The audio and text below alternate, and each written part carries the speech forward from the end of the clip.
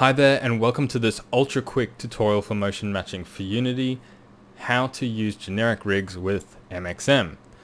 So, it's very very very simple. In our preprocessor, the first step for setting up our motion matching, we take a generic character model and we chuck it in the target model.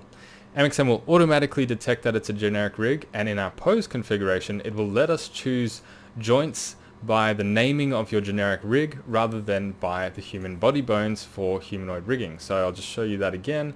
If we have a humanoid model, we get the humanoid joint list from human body bo bone enum. And if we drag in our generic, we get this hierarchy of our um, joints as they are named in the actual generic rig. So that's it. Motion matching supports both generic and humanoid rigs, so you can use it as normal from this point on. There's technically no difference whatsoever. Thank you all for watching. I'll see you in the next video.